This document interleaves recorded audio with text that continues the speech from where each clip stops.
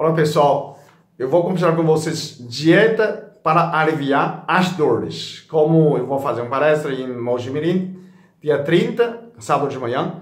Então eu venho fazendo vários vídeos sobre as dores. Então, as dietas para aliviar dor é basicamente dieta anti-inflamatória.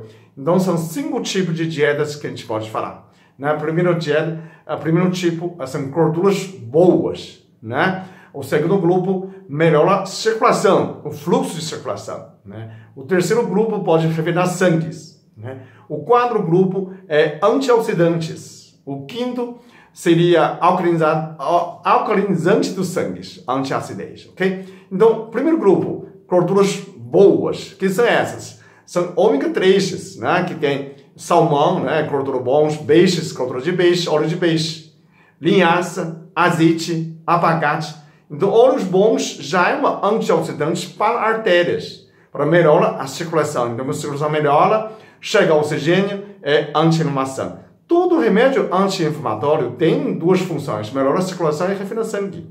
Então, sempre você toma ah, remédios químicos, você entende que está melhorando a, a, a sua circulação, ok? Então, o segundo grupo é melhorar o fluxo de circulação. Então, quem são essas? Então, você vê gengibre anti-inflamatório, açafrão, né? ginseng, é, caduaba, marabuama, né? tudo nessas uh, agentes que promovem o fluxo. O pimenta também faz nessa parte. Você aumentou o fluxo de circulação. Né? Essa fluxo acelera o processo anti-inflamatório. Então também funciona. Né? O terceiro grupo são os agentes que contêm a, a cumarina, né? heparina, cumarina, são esses grupos, por exemplo, como canela, né? É, casca de limão, casca de lima, também tem curcumina, a cumarina, né? Ah, tem também batata doce, tem cumarina também, refina sangue também. A batata doce, além do, do, do né, bom para diabetes, também é anti-inflamatório também. Então, a gente tem castanha da Índia, né? Castanha da Índia tem cápsula, também funciona nesse sentido não é? é caixa da Índia, tem carne do diabo, nessa canela, nessa canela velho, canela do velho também chá, também nesse grupo de anti-inflamatório, baseado de refinamento do sangue. Então o sangue passa, né, e a inflamação some. Então esse é o terceiro grupo nesse sentido, né? A chá de alecrim faz nesse sentido também, né? O quarto grupo, né, seria anti-inflamatório, antioxidantes. Então tem frutas vermelhas, né? Blueberry, Blueberry tem essa anti, eh, efeito anti-inflamatório é, natural também, tem esse sentido. Tem, a, dentro dessa aqui tem abacaxi, né? Frutas cítricas também tem essa função. Abacaxi tem é, plumerina, né? É plumera. Plumerina é anti-inflamatório natural. O aibo, né? Salsão, também uh, anti-inflamatório natural. Então, nesses grupos, são antioxidantes. Dentro desse grupo, o vinho também serve, né? Vinho vermelha, né? Vinho tinto, tem antioxidante, então também serve disso. Então tomate, tomatina, é, abacaxi, bromelina, então aibo também anti-inflamatório. Então desse grupo é, a gente vê essa como, como fosse antioxidantes, né? O tomate, tomatina, tanto pode ser verde, pode ser vermelha, até é, contra câncer de próstata, né? Então, tomatina, além de anti-inflamatório, ele é uh, anti-câncer também. Tudo, na verdade, anti-inflamatório. Tem efeito de anti-câncer, de anti-HIV, uh, uh, inibe a produção de vírus também. O último seria antiácido. Então, uh, quem são essas? Cloreto de magnésio, além de tirar a acidez, né? Nesse, eh, e ainda alcaliniza sangue, e a, a, a, magnésio aumenta a flexibilidade. Então, principalmente para dor, artrite, artrose, dor nas articulações, articulações, dor causada pelo ácido úrico, né? Então, nesse grupo, você pode encontrar é, água com limão, né? É, aipo, né? É, chá de cavalinha, né? chapéu de couro, tudo nesses uh, diuréticos é, antiácidos, né? Nesse sentido, pode transformar, porque uh, a sangue, quando, quando acidifica, quando você tem mais ácido úrico, ele vai cristalizar. Então, cristaliza nas articulações, né? Ah, começa joanete, por exemplo. Isso mostra se o ácido úrico está aumentando. A pessoa fala, mas eu não tenho, quando fazer exame de sangue, não está alto.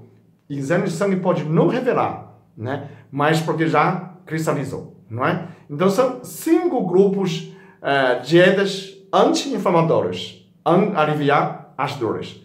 Agora, eu vou falar por quê. O que, que pode causar, né? Quais são grupos de alimentos que causam inflamação para você evitar ah, nessas. Então, o primeiro grupo, excesso de açúcar, ok? Açúcar a gente só pode ter 0,1%.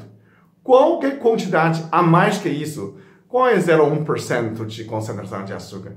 É equivalente a você tomar 6 colheres de sopa por dia de açúcar, né? Então você fala assim, isso é muito pouco, mas muitas uh, doses, né, uh, passa nessa limite. Então extrapola esse limite. Então você tem que tomar cuidado. É melhor zelar tudo adição de açúcar. A pessoa faz, posso adoçar com adoção de sim. Pode adoçar com frutas, frutas sim, frutose apenas 38% de glicose. Então, tudo nessas doces, ele inflama. Inflama o quê? Inflama artérias, inflama vias, causa varizes. Então, nessa inflamação, já é uma inflamação, começa, né? Começa as dores, já prejudica a circulação, se começa a inflamar. Todo organismo tem, que ter circulação. Então, quando você começa a inflamar artérias vias, você imagina a inflamação pode ser generalizada simplesmente porque você aumentou o açúcar, ok? O segundo parte, embutidos, que tem conservante, tem nitrados, linguiça, salsicha, tudo esses embutidos industrializados, ele pode é, oxidar seu organismo. Então, ah, isso seria exatamente o contrário para causar dor, causa inflamação. Ainda também, os, a proteína em geral, né? Carne, quando você faz cirurgia, é, facilmente o médico fala para você, não come carne, né? Por quê? Porque ele é um processo inflamatório. Né? Ele tem purina, a purina produz ácido úrico e causa inflamação. Então, quando você está fazendo cirurgia para recuperar, você não come carne, né? come mais vegetal, mais leve, dieta mais leve para você recuperar. Então, normalmente, você para não ter dor, então você não come excesso de proteína. Então, nessa proteína grande, principalmente carne de boi, carne de porco, nessas, mesmo como peixe, frango, também tem purina. Também, quando você tem quantidade grande, também causa inflamação. Então, nessas sentido. Você fala excesso de açúcar, embutidos, tem conservante, aqueles salgadinhos todo, né? Gorduras, né? Gordura trans também causa inflamação. Tudo nesse tipo, álcool é altamente eh, inflamatório. Pessoal, assim, mas álcool, uma pequena quantidade não é bom? Sim. Uma lata de cerveja, uh, um taça de, uh, taça de vinho, uma dose de whisky, isso promove a circulação, né? A segunda, segunda dose, já começa a atacar seu fígado, né? Começa a causar inflamação. Na verdade, ataca diretamente no seu cérebro. Então, todo o seu metabolismo pode ser afetado por ataque do fígado. Então, você começa a acumular gordura no, uh, no abdômen, né? Começa a inflamar seu organismo, porque você já não já atinge o sistema metabólico. Então, você já não é mais saudável quando você toma excesso de álcool, né? Assim que você ataca o seu organismo, você começa a inflamar. O cigarro, né, nicotina, bloqueia a circulação a periféricas, a vias pequenas, ele entope. Então, o próprio cigarro, ele pode servir um agente inflamatório. Então, pessoas se falam, ah, mas eu fumou quantas vezes, não deu problema, quantos anos, mas esse processo pode relacionar. Quando você tem essa dor crônica, tem essa inflamação, então você pode pensar ah, que você eh, chegou a hora de parar de fumar. Então, ah, resumindo, a gente tem uma dieta de anti-inflamatório, tem dieta que inflama. Então, quando você tem a dor, eu, eu queria deixar um, um recado para vocês que está sofrendo, ainda você está no processo de recuperação, faça a respiração para bloquear essa dor, né? Oxigênio é melhor. Então, quando você inspira, quando dá três, solta. Inspira, segura três segundos, solta. Você respirando dessa maneira, a dor para. Por que dor vai parar? Porque quando você faz esse tipo de respiração, você aumenta o oxigênio e CO2 ao mesmo tempo. Nesse período, todo o órgão começa a aumentar a captação de oxigênio. Esse aumento de captação de oxigênio pode tirar nessa dor, pode melhorar a inflamação. Ok? Obrigado.